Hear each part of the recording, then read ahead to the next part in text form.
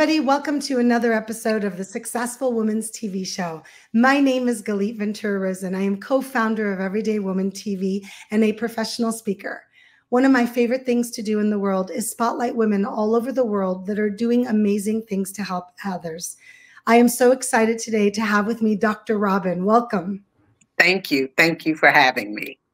I know that you're joining us all the way from Virginia, right near Washington, D.C. So that's exciting too. You're literally on the other side of the United States for me because I'm in Las Vegas, Nevada. Oh, wow. Almost the farthest you can be. So thank you for joining me. It's so nice to have technology to be able to do this and spotlight what you are doing. So I'm going to share a little bit about Dr. Robin J. Bell. She's a retired veteran who served in the Army honorably for 20 years. Thank you. I love hearing that about women, especially. You're welcome. Thank After you. After retirement in 2005, Robin worked as a contractor in the intelligence community. Oh, I love that. In 2018, she founded the nonprofit organization Rehabilitation, Reform, and Reentry Resources. I'm so excited that you're going to be sharing that, as well as today, you're going to be sharing with anybody that's listening and watching how to start their own nonprofit. Yes. Dr. Bell is a fierce advocate of prison reform. And is it recidivism? No. Oh my gosh, just you say got it. it. You got it. Did I say it? Okay. Recidivism. Recidivism. Mm-hmm. I learned a new word today. I love that. I'm going to say it again. Prison reform and recidivism reduction. Thank you. Gosh, that's a mouthful. It's three R's. it really is. With her experience, R4 helps returning citizens deal with the many obstacles and challenges they will face on reclimating into society, reacclimating into society. I'm so excited to hear so much more about this. We have a great program like that in Las Vegas that I love, and so many dear friends of mine are involved in as well. So I'm excited to hear about the things that your nonprofit is doing and to share with other women how they themselves can have their own nonprofit as well. So First of all, Dr. Robin, why this nonprofit? You've got to share me with me what passion you have and why is it this nonprofit from all the different ones that you could start? Um, Galit, first, thank you for having me. And this nonprofit, it started uh, when I was in the military and I mm-hmm. traveled the world uh, facilitating classes on treating others with dignity and respect with the Army Corps of Engineers.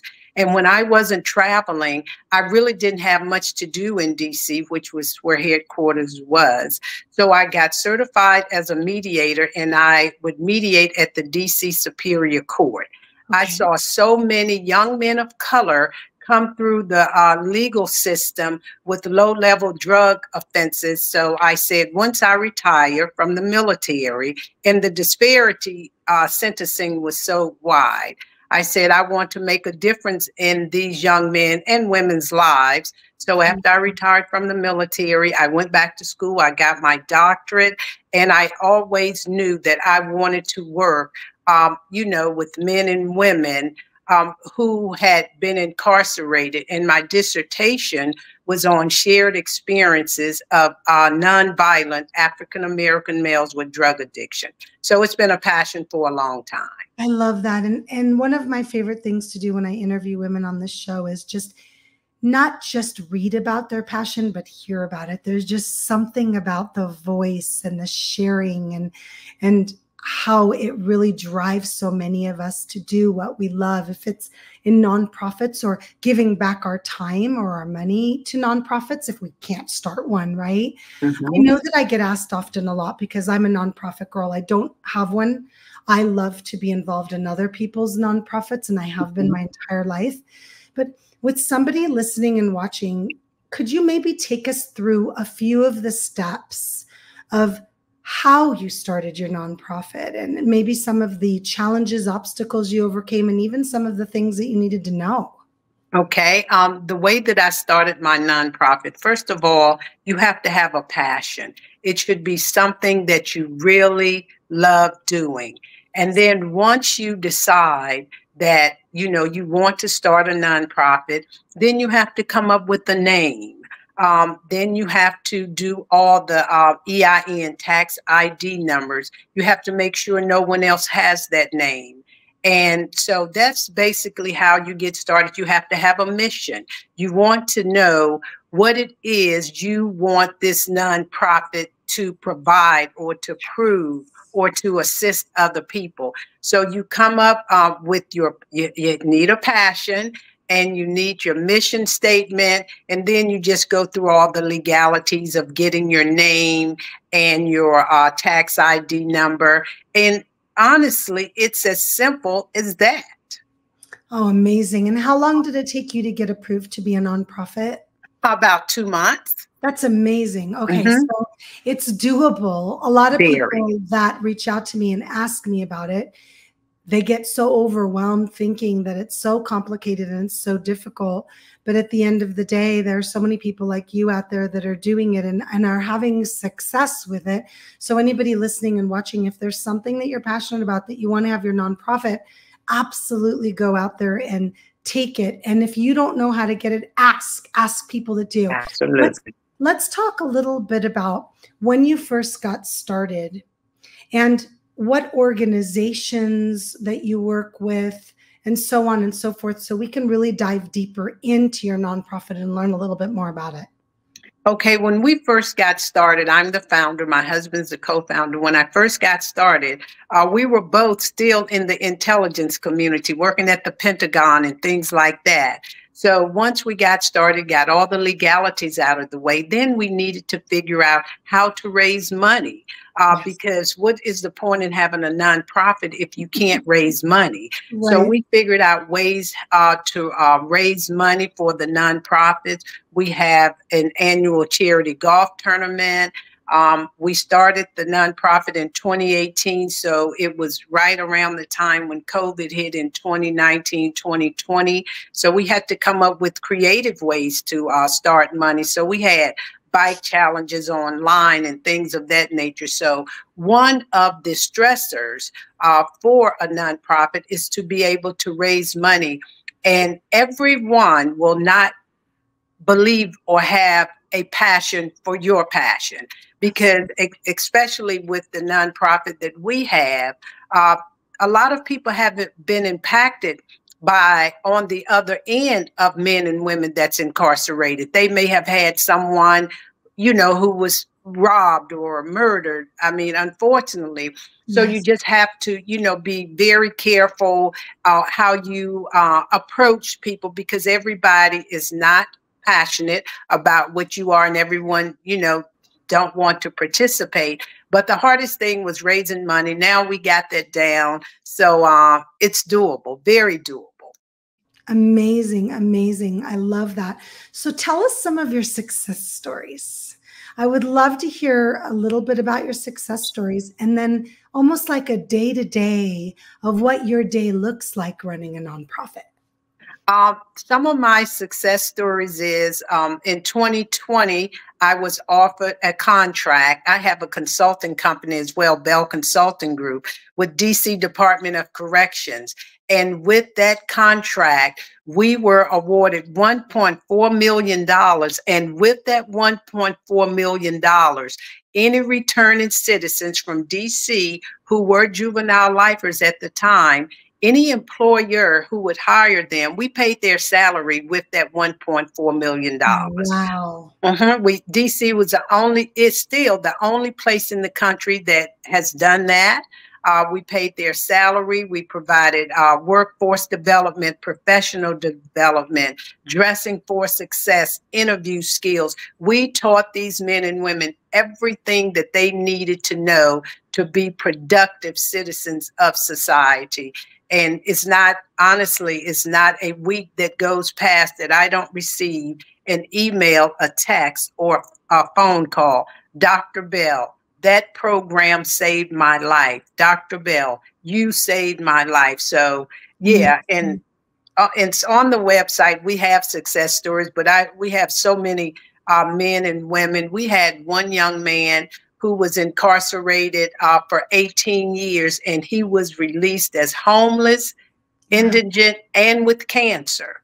Wow. And he had no one, and R4 stepped in. So I have so many stories that I could tell, but I will, uh, you How know, wonderful give, is that? How amazing. wonderful is it that you have so many stories that you can tell? May every nonprofit have that problem, right, Dr. Bell? Yes, I mean, ma'am. Please never feel bad about how many success stories you have. I love, I love, I love that. All right, so take us through a day in the life of a nonprofit founder. Dr. Robin Bell, take us through a day of in the life, maybe like a typical day that you would experience with the nonprofit. Okay, a day in the life, a typical day that I would experience with the nonprofit is um, receiving a phone call or mm-hmm. an email or, or text from a returning citizen saying, just last week, Dr. Bell, I'm not able to work. I, you know, lost my job for a while because of an illness. I can't pay my rent. Can you help with the rent? Um, we also we and that's what our nonprofit does. We provide all of those, you know, resources for returning citizens. So we help pay the rent. Um, Dr. Bell, I have a daughter that's going to college, and all of these are returning citizens. We can't provide, we don't have the money to get him or her started. R4, we provide scholarships for college bound seniors who are impacted by incarceration. Uh, at Christmas time, I might receive a call, Dr. Bell, is there any way that your organization can help us with getting our children's toys and presents for Christmas, Thanksgiving meals?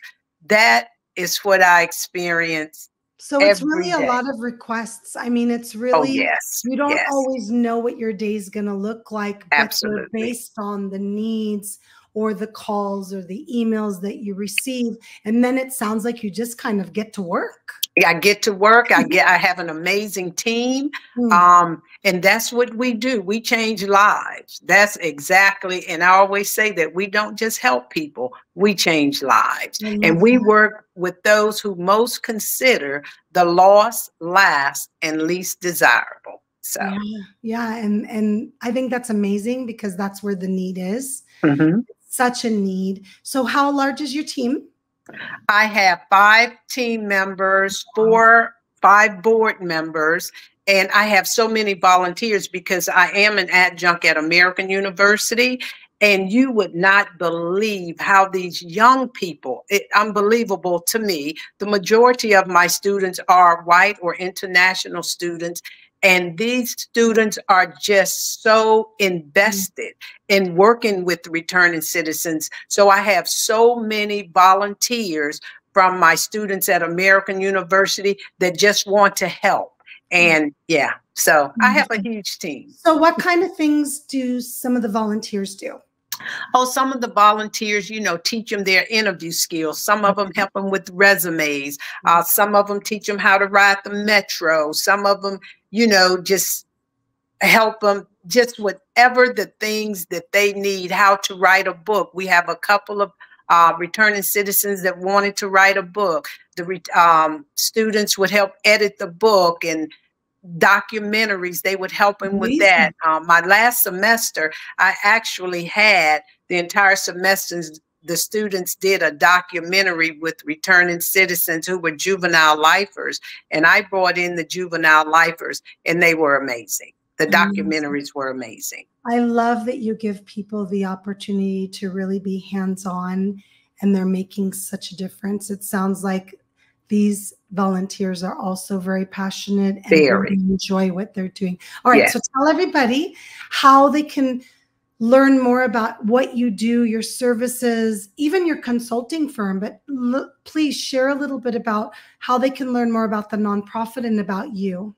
Okay, so with the nonprofit, you can go to my website, uh, www.r4 the number four, resources.org. And you can go to that website and you can learn everything. You can hear the amazing stories. Um, my consulting company, Bell Consulting Group, is www.bellcgroup.com. And um, you can learn with the consulting firm as well. We do a lot of work with local, state, and federal prisons and institutions that you know house returning citizens. So both of uh, my organizations, do mostly the same thing. So yeah, they uh, work can, hand in hand. It makes a lot of sense because you can offer these services and this consulting as well as then you can help the people that are coming back into the community. So it works really, really well. Well, yeah. thank you for everything you do. It was such a pleasure learning more about your nonprofit and learning more about you. And thank you. It's just such a pleasure to talk to someone like you to see your life's passion and that you're living it every day. So thank you, thank you, thank you for being a part of the show today. Gilly, thank you so much for having me. It was an honor. Thank you. Thank you. Thank you. And everybody watching and listening today, thank you so much for being here for another episode of the Successful Women's TV show. My name is Galit Ventura Rozen, and I will see you next time. Bye, everybody. Bye, Galit. Bye, everybody.